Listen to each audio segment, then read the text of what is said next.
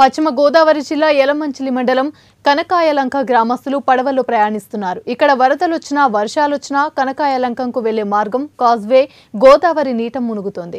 దీంతో ప్రతి ఏటా రెండు నెలల పాటు పడవలపైనే ప్రయాణం సాగిస్తున్నారు. ప్రస్తుతం కురుస్తున్న భారీ వర్షాలతో గోదావరి నీటిమట్టం పెరిగింది. లంక గ్రామస్తుల రాకపోకలకు అంతరాయం ఏర్పడుతోంది.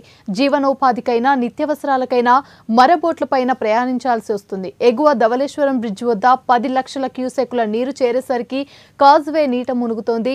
ఈ కాజ్వే ఎత్తు పెంచి శాశ్వత పరిష్కారం చూపాలని ప్రభుత్వాన్ని లంక గ్రామస్తులు కోరుతున్నారు.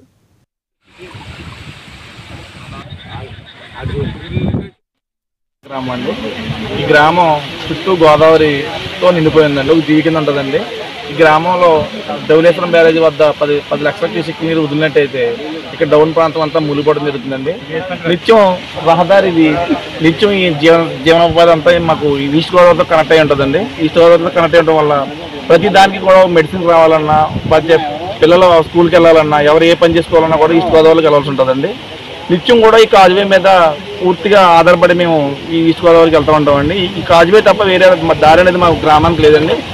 దానివల్ల ఈ కాజువే ఎప్పుడైతే మునిగిపోయిందో మొత్తం జనజీవనం అస్తమస్తం అయిపోద్దండి రాకపోకలు బంద్ అయిపోయి గ్రామంతో కటి మొత్తం బంధం తెగిపోద్దండి. ఇతర ఇతర గ్రామాలకు వెళ్ళాలన్నా ఎక్కడికైనా వెళ్ళాలన్నా ఏదైనా వైద్య సదుపాయంకి వెళ్ళాలన్నా ఎవరైనా రావాలన్నా వెళ్ళాలని తెచ్చుకోవాలన్నా కూడా మాకు గ్రామంతో సంబంధాలు దిగిపోతాయండి ఇక్కడ పడవ అనేది ఏర్పాటు చేయవలసి